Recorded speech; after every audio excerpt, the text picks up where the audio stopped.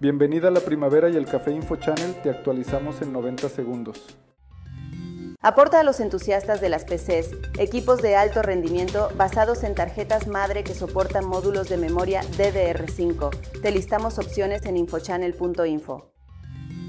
Mercado Libre invertía 2.450 millones de dólares este año en México en el desarrollo de soluciones tecnológicas y logísticas. La red social X desarrolla una aplicación de reproducción de video diseñada para Smart TV con un formato similar a YouTube se completó con éxito la primera prueba de la red de Canton. Se trata del proyecto piloto más ambicioso hasta la fecha para probar la viabilidad de una red basada en blockchain. Microsoft ofrece prueba gratuita de un mes de Copilot Pro para que te pongas al día en inteligencia artificial. Hasta aquí las noticias, comparte el video y no olvides seguirnos en infochannel.info. Te esperamos mañana con otro sabroso café.